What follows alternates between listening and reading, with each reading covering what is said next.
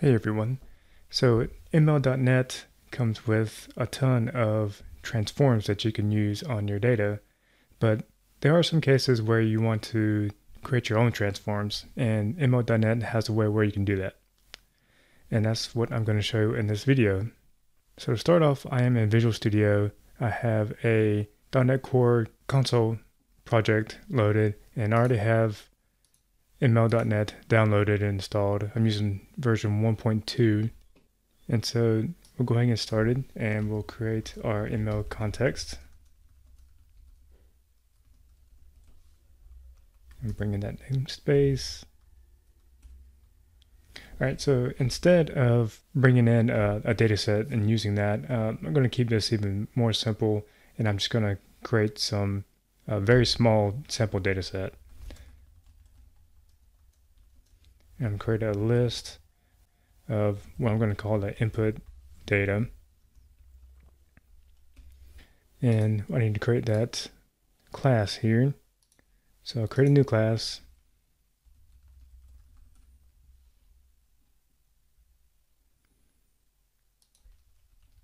And in this class, I'm just going to uh, create a property. It's going to be a date time. I'm just going to have a single date.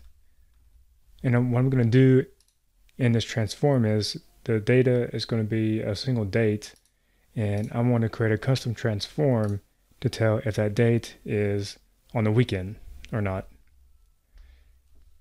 So I'm going to take in a couple of instances of this um, input data and I do bring in the list namespace. So I have a couple of dates loaded and a couple of them are on the weekend and the others aren't. So our data, uh, our sample data, I can use the ML context data that load from enumerable method and just pass in that sample data. All right, so here's where we start using our custom transform here. It's going to be an action that takes in input data as well as the what we're going to do the mapping output data. And this is the this is kind of the new column that we want to get out of this new transform. So it's another class that we're going to have to create.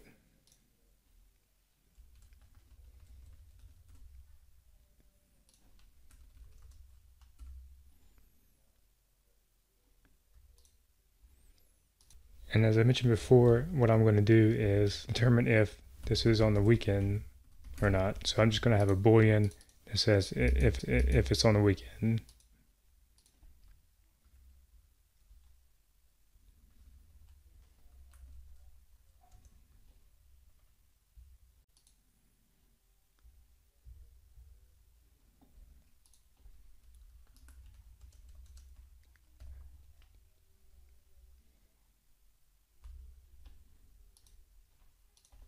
So we have that input in the output there. What we do is for our, we're going to set the output that is weekend, and that's going to be the input that date, and we do the day of week, and we'll say if it's either Saturday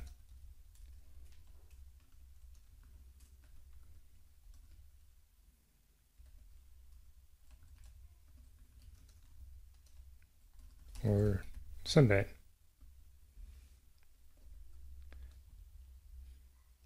So that's our that's our new column pretty much right here is this is right here is this is weekend and we do to calculate it based on what our current input is.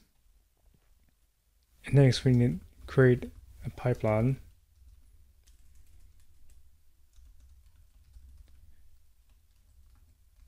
do transforms and to, to use this, we use the custom mapping method that we have here.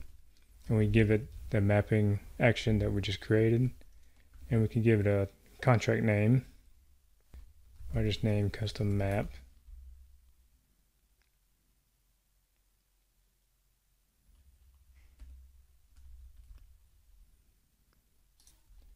Now we have our pipeline we need to fit and transform on it with our current data.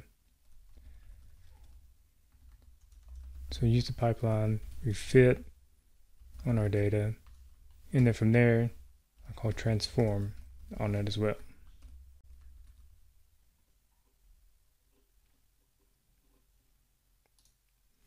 So now that we have that data transformed with our custom map, we can get the enumerable of that data.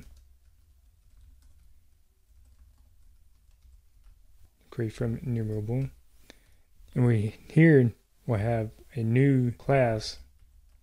And what this class is going to do is just going to hold our input data as well as our mapped data, our calculated data that, that we're getting. Passing the transform data, and we're going to tell it to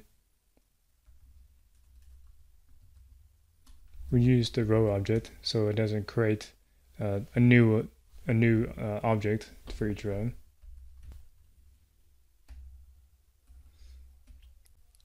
And since we have that enumerable data, we can loop on it with a for each.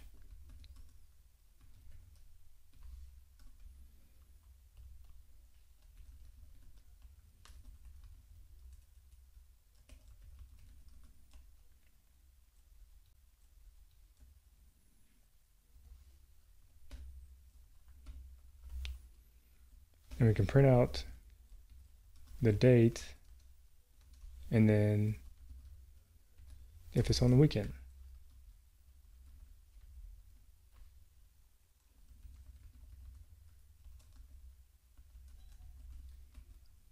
There And yeah, and that's pretty much all you have to do to create a custom transform. So let's see how this runs. There we go. So the 6th and the 14th were on both on weekends, where the 19th and the 2nd weren't. Alright, so that's just a, a quick video to show how easy it is to create a custom mapping within ML.NET. And this is mostly useful when you're doing feature engineering to get a better model than what the, you have in your current data so you can make new data from the data that you have to get a better model. So, all right, thanks for watching, and I'll see y'all next time. Thanks.